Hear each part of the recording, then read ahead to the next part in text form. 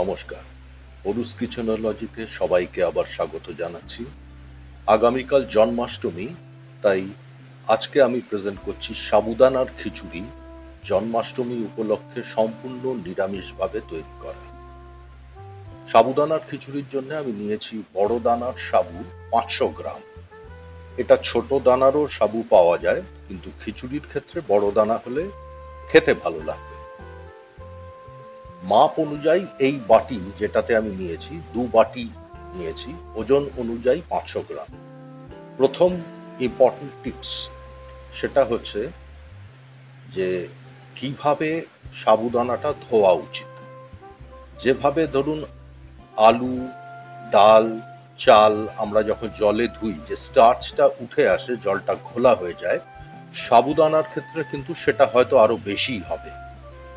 সেই জন্যে একটু যত্ন নিয়ে পাঁচ ছবার সাতবার ভালো করে ধুয়ে নেবেন, যতটা সম্ভব স্টার্চ সরিয়ে দেবেন, তাহলে পরেই এটা ঝুরঝুরে হবে। দ্বিতীয় গুরুত্বপূর্ণ টিপস হচ্ছে যে ঠিক কতটা সাবুদানার জন্য কতটা জল আমরা নেব। এটার সোজা হিসাব হচ্ছে রেশিওটা হচ্ছে ওয়ান ইস টু ওয়ান যতটা সাবুদানা, ঠিক ততটা জল। যে বাটিতে মেপে সাবুদানা নেবেন যে ওজনের নেবেন, ঠিক সেই বাটিতে মেপেই জল দেবেন, সেই ওজনের দেবেন। এটা খুব ইম্পর্টেন্ট তৃতীয় থার্ড ইম্পর্টেন্ট টিপ হচ্ছে যে আমরা সাবুদানাটা জলের মধ্যে কতক্ষণ ভিজিয়ে রাখব। খুব ভালো হয় যদি ছ ঘণ্টা ভিজিয়ে রাখতে পারেন ঢাকা দিয়ে। অন্তত পাঁচ ঘণ্টা বটেই। ছ ঘণ্টা রাখলে সমস্ত জলটা সাবুদানাগুলো সোক করে নেবে। এবং ঠিক সঠিকভাবে দানাগুলো নরম হবে এবং খিচুড়িটা ঝুরঝুরে হবে। সামান্য কিছু উপকরণ, আদা, কাঁচা লঙ্কা, ধনে পাতা, কারি পাতা, আর একটা জিনিস খুব দরকারি, গুরুত্বপূর্ণ, সেটা হচ্ছে কাঁচা বাদাম। আমি নিয়েছি পঞ্চাশ গ্রাম। এই পঞ্চাশ গ্রাম কাঁচা বাদামকে আমাদের একটু টোস্ট করে দিতে আলু নিয়েছি পাঁচটা, মাঝারি থেকেও একটু ছোট সাইজের পাঁচটা আলু প্রেশার কুকারে দুটো হুইসেল দিয়ে সেদ্ধ করে নিয়েছি, বেশি সেদ্ধ করবেন না। সেগুলো তারপরে ছোট ছোট টুকরো ডাইস করে রেখেছি। তিন থেকে চার মিনিট বাদামটাকে একটা যে কোনো প্যান বা তাওয়াতে একটু নাড়াচাড়া করবেন লো ফ্লেমে দেখবেন যে খোসাগুলো একটু আলগা আলাগা, আলগা আলগা হয়ে যাচ্ছে। তারপরে বাদামগুলো তুলে নিয়ে একটা কাপড়ের মধ্যে নিয়ে জোরে একটু ঘষে দেবেন। নাইনটি পার্সেন্ট খোসা সরে যাবে। অল্প স্বল্প থেকে গেলে কোনো ক্ষতি নেই। তারপরে বাদামগুলোকে মিক্সিতে অথবা মটর পেসেলে একটু আধ ভাঙা করে নিতে হবে। আমি প্রেফার করি মটর পেসেল এই সব থেকে। এবার দেখুন, ছ ঘণ্টা হয়ে গেছে। সাবুদানার একদম নিচ থেকে হাত দিয়ে একটু চেক করে নিতে হবে যে নিচের দিকে জল আছে কি আমারটা একদম পারফেক্ট হয়েছে, যেহেতু আমি একদম ঘড়ি ধরে ছ ঘণ্টা ভিজিয়েছি। একটা প্যান বসিয়ে দিয়ে গরম করে দিয়ে দিচ্ছি তিন টেবিল স্পুন ঘি। এটা ঘিতে করবেন। তারপরে ফ্লেম একদম লো করে দিন লো করে দিয়ে দিয়ে দিচ্ছি দু চা চামচ সাদা জিরে।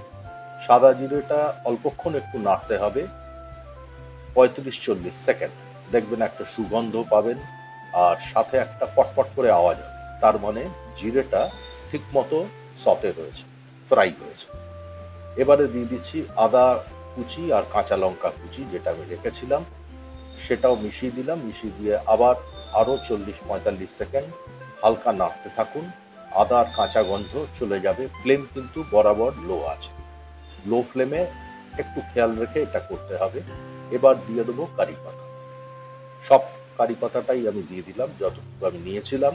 কারি পাতাটাও লো ফ্লেমে একটু নাড়তে থাকুন। গন্ধ আরও সুন্দর বেরোবে।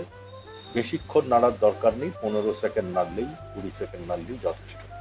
তারপরে কেটে রাখা যে আলুগুলো, সেদ্ধ আলুগুলো, সেটা দিয়েই ফ্লেমটাকে এই পয়েন্ট থেকে করে দিতে হবে একদম হাই যদি কাঁচা আলু কেউ নেন, তাহলে মিডিয়াম ফ্লেমে এই এই সময় থেকে করবেন। যেহেতু আমি সেদ্ধ আলু নিয়েছি, ভেতরটা নরম আছে সেই জন্য বাইরে একটা ক্রাস্ট আনার জন্য এটা হাই ফ্লেমে হবে, অল্প নুন কোয়ার্টার টিস্পুন নুন দিলাম যাতে আলুর মধ্যে নুনটা একটু মেখে যায়, ঘিয়ের সাথে যাতে একটু মেখে যায়। এবারে যখন দেখবেন যে হালকা একটু রং ধরেছে, তখন দিয়ে দিন আধ ভাঙা বাদাম, যেটা আমরা টোস্ট করে রেখেছিলাম। বাদামটা একটু মিশিয়ে দিয়েই এবারে আমাদের দিয়ে দিতে হবে সাবুদানা। পাঁচশো গ্রাম সাবুদানা আমি নিয়েছি। এবার জলে এটা ভেজাবার পরে এটার ভলিউমটা কোয়ান্টিটি কিন্তু বেশ অনেকটা বেড়ে গেছে। সুতরাং ভাগে ভাগে ব্যাচ ওয়াইজ এটা মেশালে ভালো হয়, তাহলে প্রপারলি মিক্সিংটা হবে। সম্পূর্ণ সাবুদানাটা আমি দিয়ে দিচ্ছি দুবার, তিনবারে। ফোর্থ এবং লাস্ট ইম্পর্টেন্ট টিপ হচ্ছে যে আমরা টেম্পারেচারটা গ্যাসের ফ্লেমটাকে কীভাবে মেনটেন করব যাতে প্রপারলি খিচুড়ি শেষে যেন দানাগুলো একদম ঝুরঝুরে আলাদা থাকে। এটা খেয়াল রাখবেন হাই ফ্লেমে করবেন। আলু ভাজার থেকে ফ্লেমটা হাই থাকবে এবং সাবুদানা দেওয়ার পরেও কিন্তু মিনিট চারেক অন্তত হাই ফ্লেমে রাখবেন।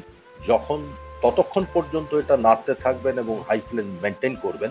যতক্ষণ না দেখবেন যে দানাগুলোর রং একটু ডিপ পিঙ্ক হচ্ছে বা ট্রান্সলুসেন্ট হচ্ছে। নুন, চিনি, এক চামচ করে আমি দিয়ে দিয়েছি আমার আন্দাজ মতো।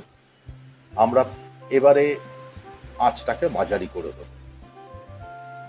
মিনিট চারেক আমি রান্না করা হয়ে গেছে সাবুদানাটা।